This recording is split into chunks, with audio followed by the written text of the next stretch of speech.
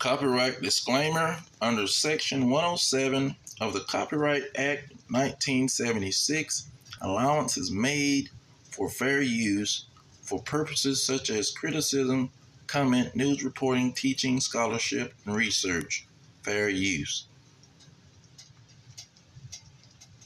A lot of cotton is grown in the hot and humid climate of the southern United States. And a lot of this country's wealth was built on the cotton trade. But it's easy to forget that part of the reason that cotton was so lucrative in early America was because it was harvested with the labor of enslaved people. And even though the dirty work of the cotton industry took place mainly in the southern states, many white people in the northern United States gained their fortunes through the exploitation of enslaved workers in the South. And the reason that cotton became such a central economic pillar was not just because of what was happening in the US, because of an entire global financial network that, whether they sanctioned the use of slavery themselves or not, incentivized the use of enslaved labor to satisfy the enormous international demand for cotton. It's time we learn about how cotton. All praise to Yahweh, Ba'ashem, Yahweh Shai, Ba'ashem, Kakadash. Yahweh being the name of the Heavenly Father.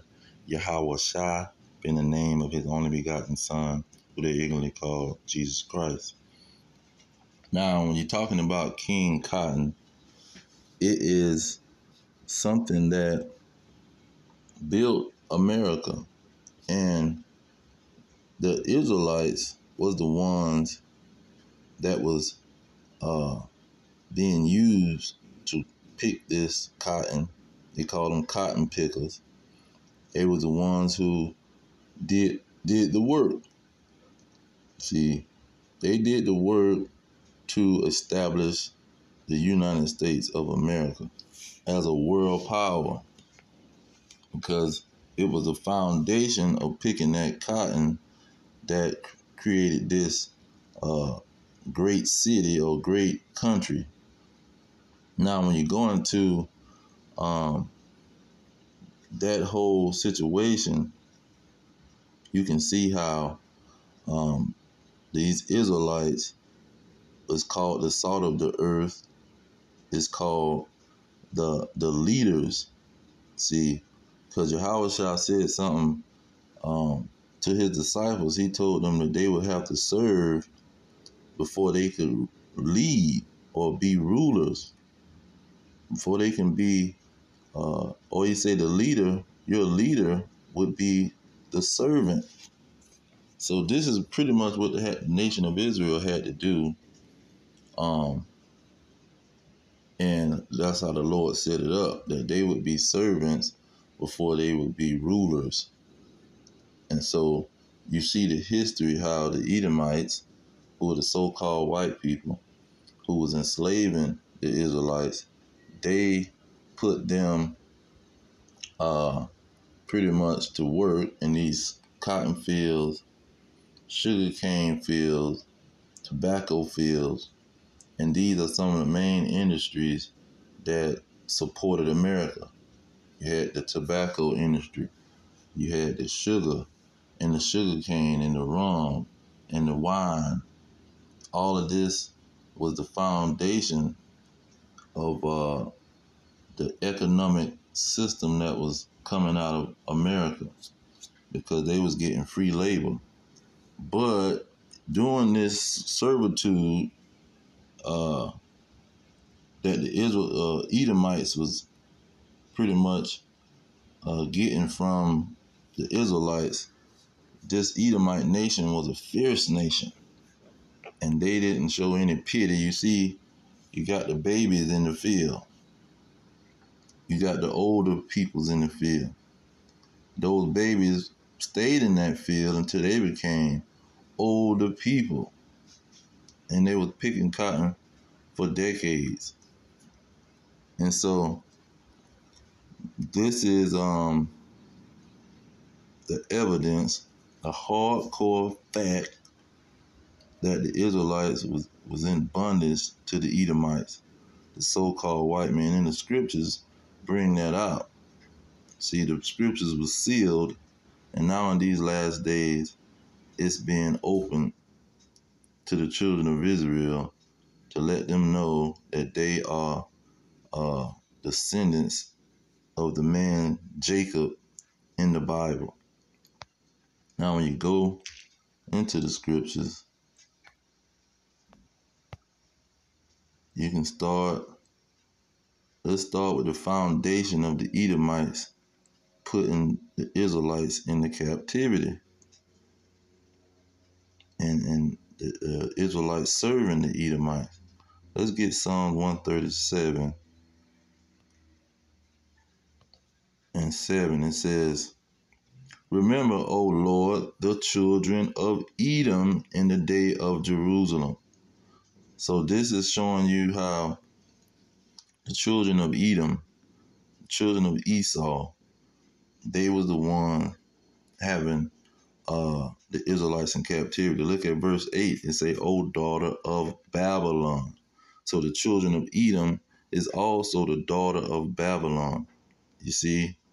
So when you go into um,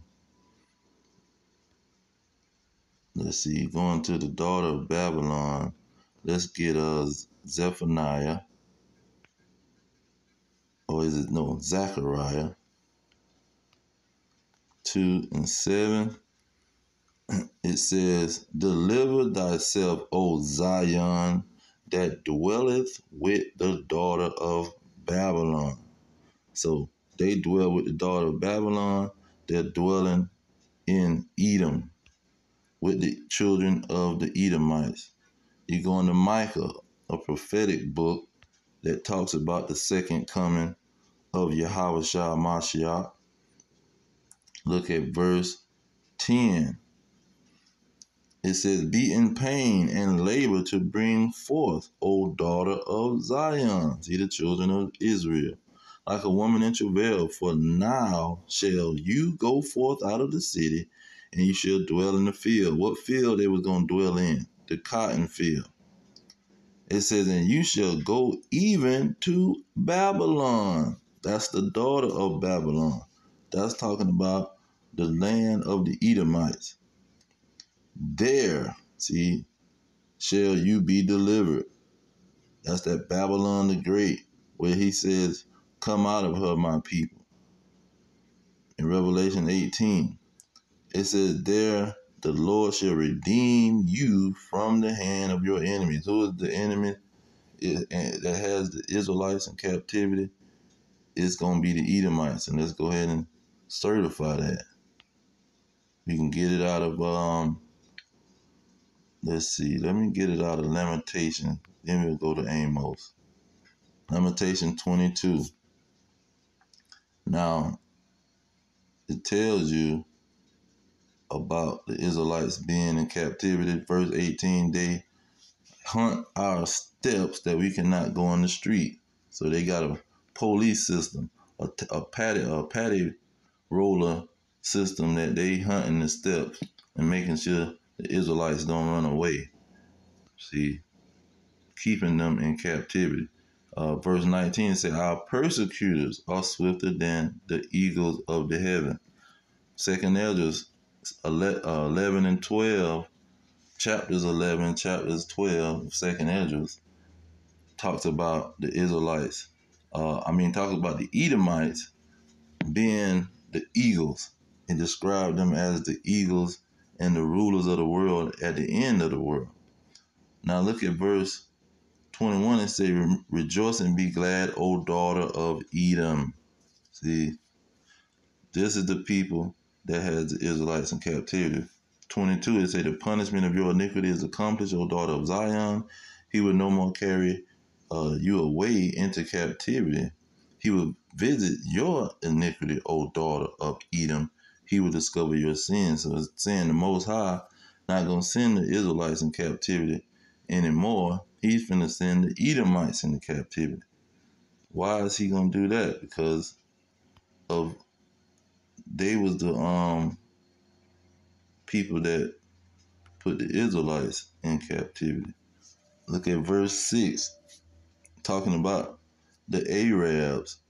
It says, Thus says the Lord, for three transgressions of Gaza and for four I will not turn away the punishment thereof, because they carried the whole captivity to de- carry away the whole captivity, um, to deliver them up to Edom.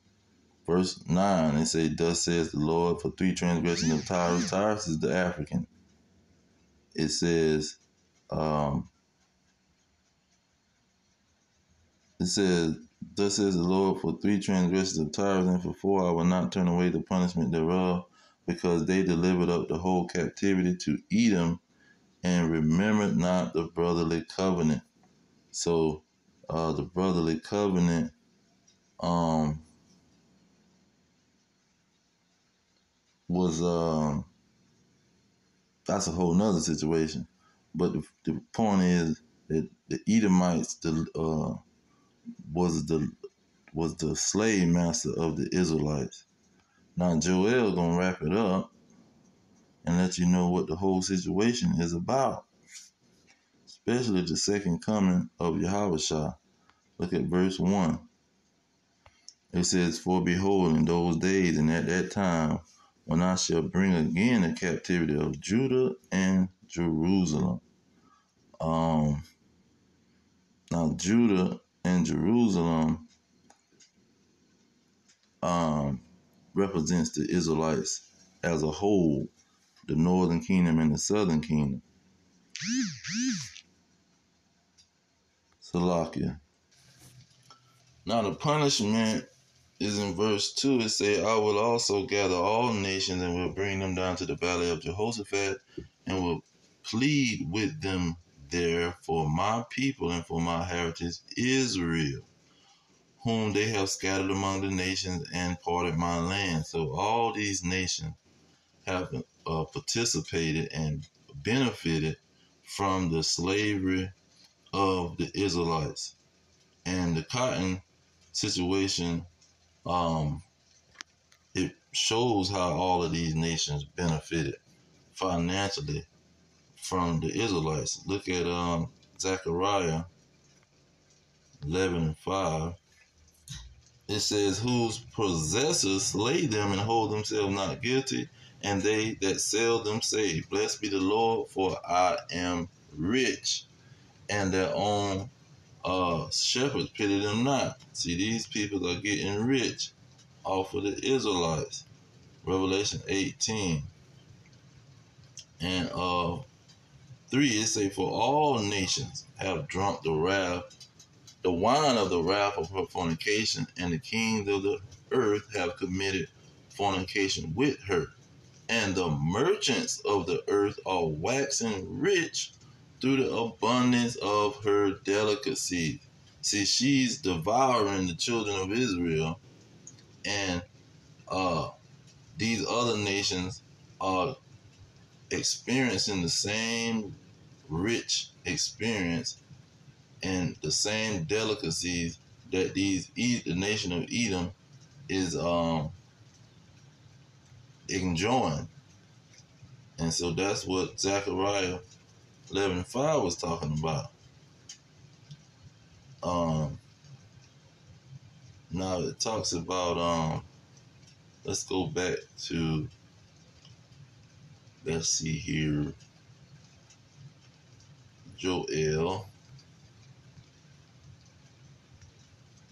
Because this is what the Christians deem to be the second coming of Yahweh Shah, who they ignorantly call Jesus Christ it says, verse 3 And they have cast lots for my people, that's selling them on the auction blocks, and have given a boy for a harlot and sold a girl for wine that they might drink. So that the part when they say that they might drink, because this is not talking about just selling them the girl for wine. See, that's that's totally different than just selling somebody the wine. They selling them so they can drink the wine. See, they that meaning they was using these people to make wine, use these people to make the rum. And the rum was created in the islands from picking the sugar cane and turning into molasses, and they made the rum out of the uh, junk of the molasses or whatever. So anyhow, then verse four talks about the Hamites and the um Arabs, just like Amos, And then when you get down to verse uh, 19, to get to the point, it names the Edomites. It says, Egypt shall be a desolation, and Edom shall be a desolate wilderness for the violence against the children of Judah, because they have shed innocent blood in their land. See, it ain't just about the, the picking cotton and the servitude that the Israelites had to serve. They was killing them and hanging them. See, even King David couldn't build the um ark. I mean, build a temple because he was doing a lot of killing, and the killing was sanctioned by Yahweh, but he's just had too much blood on his hand.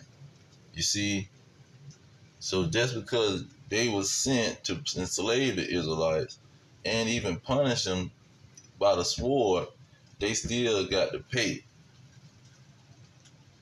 Now, when you go into um, Isaiah 14, to add these other nations in now, 14 and 18, because it talks about uh, king of Babylon and the slave master going into slavery. But this adds all the nations in that also. It say all the verse 18, all the kings of the nations, even all of them lie in glory, every one in his own house. So all these other nations is lying in glory in their own land with their militaries and they're benefiting from the slavery of the children of Israel due to the the Edomites benefiting from the slavery and the Edomites is supplying them and teaming up with them through the United Nations and NATO and all these uh, charities that the so-called Edomites put out there try to make themselves look good. They um all these other nations benefit. See, it's like Iran, uh, the American. I think Obama, one of them dropped off a billion dollars worth of um money. One of them Arab country dropped off all kind of money in the people country. But anyway, uh, that cotton was a major commodity. Now, when you go into the curses, it talks about it also. Deuteronomy was 16 and 17. It says, Curse shall thou be in the city, and curse shall thou be in the field. And we was cursed in them fields, in cotton field, tobacco field, sugar cane field. We was cursed in them fields. And we was working for the Edomites, our enemy. Look at verse 48. It says, Therefore shall you serve your enemies, which the Lord shall send against you, in hunger and thirst and nakedness, and in want of all things, and he shall put a yoke of iron upon your neck until he have destroyed thee. Now, this is also going into the sea hill and this yoke that this uh people is trying to the Edomites is trying to put on the Israelites. This is also gonna uh, destroy the, the Edomites. See, because he said these curses gonna get reversed. That yoke that he trying to upgrade on and, and put inside of the body of an Israelite, so he can monitor them and uh, try to cause prophecy to be um, destroyed. This is what's gonna reverse the curses. That yoke and we and you put yoke of iron into Google, you're gonna see all kind of Israelites pop up. You're gonna see the descendants of slaves, Mexicans and Native Americans being uh chained up by the so-called white man to keep it simple. Now verse seven of Deuteronomy 30, it say, And the Lord your God will put all these curses upon your enemies and on them that hate you, which persecute you so all these nations that's benefiting from the Israelites, did all of these curses being put in chains, being put in slavery, and submission, it's going to be put on these other nations. And so the king Cotton produced the kingdom of the Edomites, plus it uh helped the uh, not I won't say helped the Israelites, but was the way that the Israelites was gonna earn their kingdom by serve being a servant first, and then they're gonna be kings afterward. Like in Revelation five and ten and Revelation one and six, say that they would be kings and priests and reign on the earth. See, all nations is not gonna reign on the earth. Only the Israelites is gonna reign on the earth over these other nations, the heathen. And um, like Daniel seven and eighteen, they're gonna reign forever. They're gonna take the kingdom and reign forever. They're not gonna. Or Daniel two forty four, they're not gonna give the kingdom to another people. It's gonna be in the hands of the Israelites uh, forever.